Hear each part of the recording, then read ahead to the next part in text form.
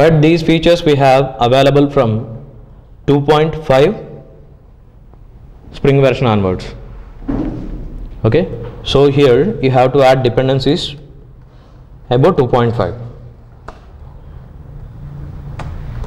spring 3.1 i'll add here.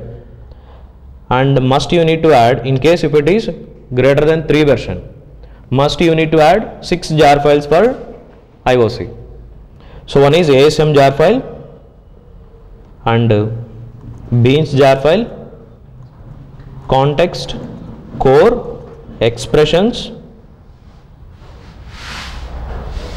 and commons logging is compulsory. So how many jars? 4 5 and one expressions. And we left one more core context beans logging expressions and air. Here's okay six jar files add these six dependencies to your class path.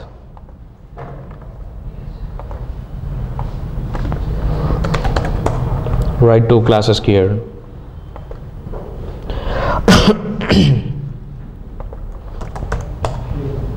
Same car and engine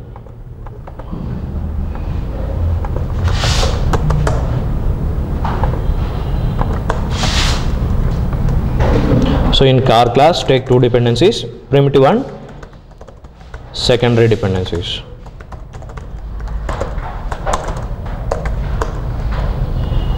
And write setter methods set car name set engine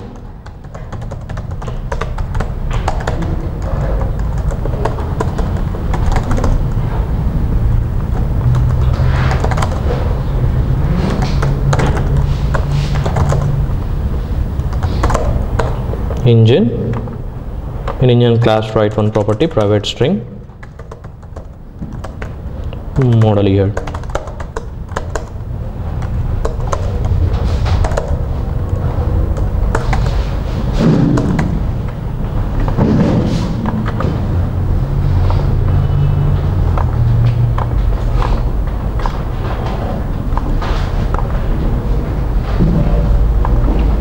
Now get a resource and do schema based configurations here.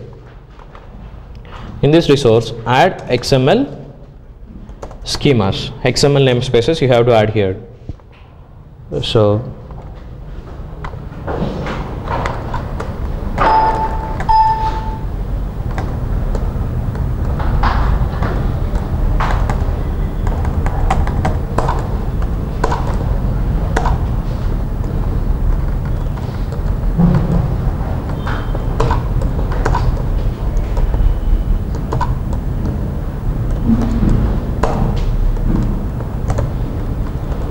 add the schema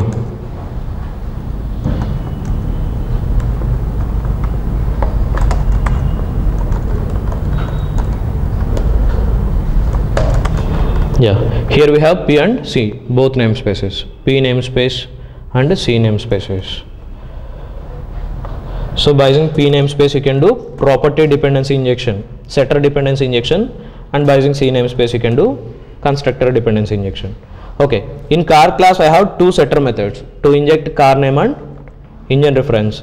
In engine class instead of using setter method use a parameterized constructor. String model here.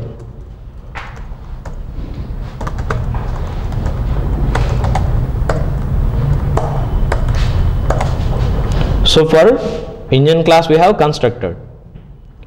And for car class we have setter methods. So for engine class we have to use c namespace and for car class we have to use p namespace. So here create a bean bean id c car class and class name beans dot car. Into this car class if you want to inject data use p namespace p colon name. In car class how many parameters we have? Car name and engine. So car name you can call p colon car name. And you can pass that car name value. And to pass secondary type into car class you have to use p colon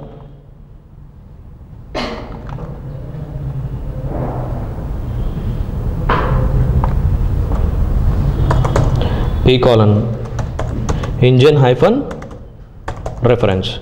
Engine class reference you must need to pass here create bean id engine class name beans dot engine class. Into engine class what we have to inject? Model year we have to inject. By using c namespace constructor dependency injection. C colon model year so from engine class it will call constructor and from from car class it will call setter methods. That's it so without having any property tags we are doing constructor dependency injection and setter dependency injection here. Easy right?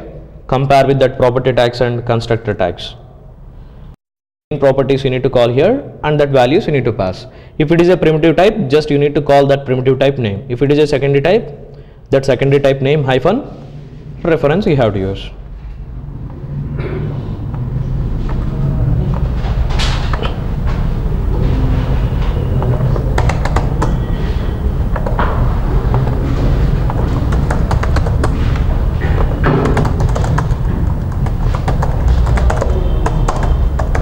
load into container.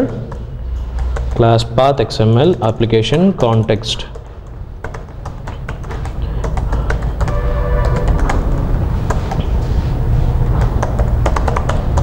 Ap dot get bean of car.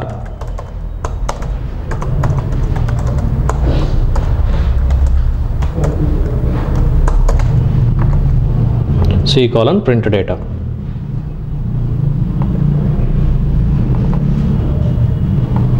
okay. In car class we are printing car name and engine object right? So instead of printing engine object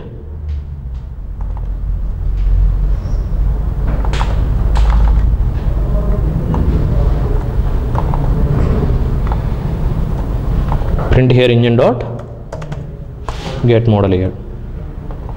Then run your client class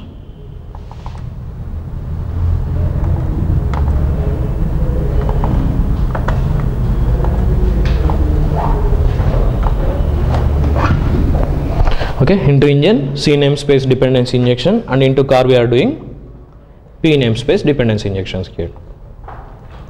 Okay in case if you have a simple one or two properties you can go through this p and c namespaces instead of using this complete property tags and constructor tags.